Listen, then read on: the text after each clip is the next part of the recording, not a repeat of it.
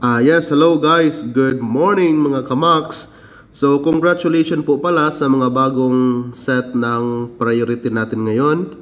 So, ngayon, marami akong natanggap na text or tawag kung paano po natin malaman kung tayo po ay isang priority driver na ng Maxim or hindi pa. So, ngayon po, isuturuan ko kayo kung paano natin malaman kung tayo ay priority na o hindi pa. Ngayon, ang gawin natin since Maxim po tayo is pindutin lang po natin ito. Buksan natin yung application natin gamit yung ating taxi driver. Ayan. So, ngayon, ang gagawin po natin is sorry, sorry. Ang gagawin po natin is i-click lang po natin siya. Yung ating app na taxi driver. Ito po. Okay.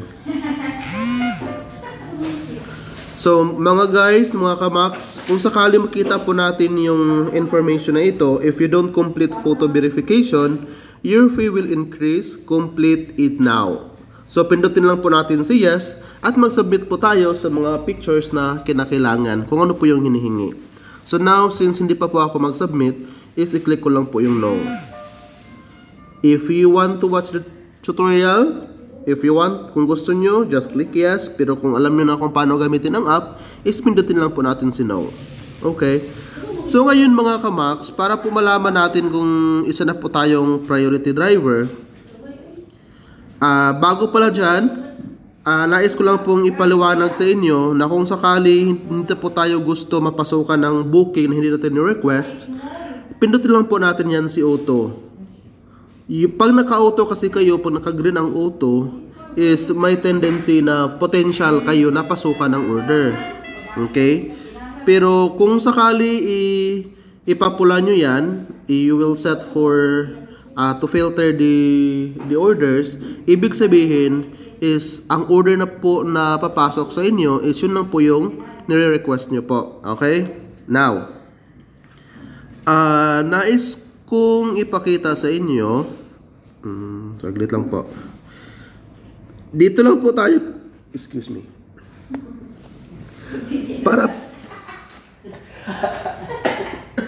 sorry, sorry. Para po makita natin guys kung tayo na po ba ay priority, uh, ito lang po ha. Ito po yung pindutin natin guys. Oh, si menu. Ayan. Okay? Pindutin nyo lang si menu. Pagkatapos nating pindutin si menu, is lalabas po itong si services. Okay? Pindutin lang natin si services. Once na pindot natin si services, ito po yung lalabas. Ayan. Pag lalabas ho yan, ang gagawin lang po natin is pindutin natin siya ulit. Pag pindot natin yan mga kamax, ang lalabas po ay ganyan. Okay. So ngayon guys, sa tingin niyo, isa po ba akong priority driver or hindi? Okay? Ang ibig sabihin nito is ano lang ako. Since nakalagay dyan vehicle, yan. Since nakalagay is only connected, ibig sabihin is connected ako sa Maxim, nagmamaniho ako sa Maxim, kaso nga po is hindi po ako priority driver. Kung kayo po ay isang priority driver, ang makita nyo po dito instead of connected, ang lalabas po is priority increased. Okay?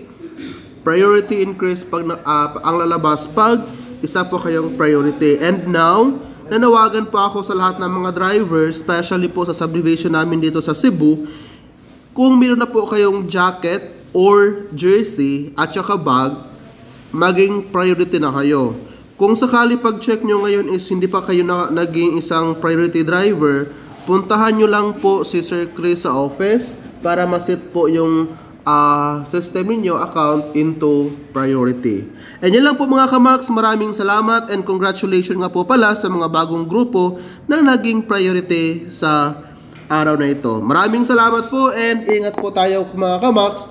Uh, malaki pong papasalamat namin sa inyong mga serbisyo at saka nga po din natin maiwasan na minsan hindi tayo makaintindihan ng ating mga customers at hindi po yun, hindi po yun rason na para pagsabihan natin sila ng masama or kung ano-ano naman ang pag uh, isasabi natin sa kanila. Ayan po mga kamax, kung sakali po maka-encounter kayo ng customers na nahihirapan kayong i-bill, tawagan nyo lang po kami dito sa office nang sa ganun kami po mismo ang tatawag sa kanila.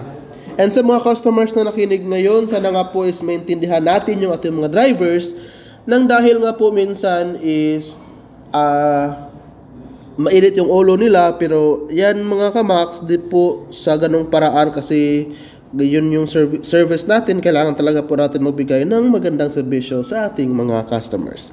Yan lang po at ang inyong lingkod Maxim Admin maraming salamat at magandang umaga sa lahat Dito ka siya na. Don't mind.